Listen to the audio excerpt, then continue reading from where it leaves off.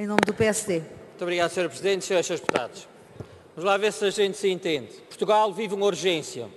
Portugal vive campanhas difamatórias contra os agroalimentos. Campanhas difamatórias sem sustentação científica.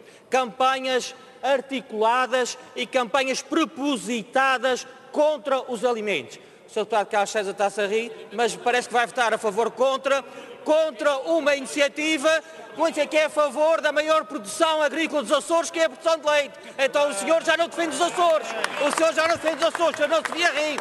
O senhor devia se envergonhar da forma como vai votar. Oh, oh, senhor, oh, Deputado Carlos César, obviamente que o senhor, obviamente que o senhor só pode votar Obviamente que o senhor só pode votar contra, sabe porquê? Porque os resultados dos Açores açorianos são os piores no abandono escolar. Olha, açorianos são os maiores de embriaguez e na cocaína. E o senhor é responsável por isso, senhor deputado Carlos César. Não se ria da desgraça dos outros, daquela desgraça que o senhor deixou nos Açores. E ainda por cima vai votar a favor dessa iniciativa.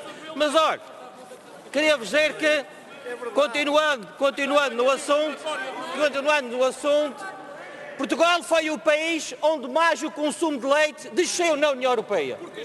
No, em 2017, em 2017, por mês, desceu 1 mil litros, de leite por mês. Isto significa 2017, 2016 e 2017 um impacto negativo nos produtores de cerca de 13 milhões de euros. Ou seja, essas campanhas negativas difamatórias não são só, não atingem só os produtores, atentam contra Portugal. É isso que é preciso dizer. Essas campanhas atentam contra a economia e o crescimento de Portugal.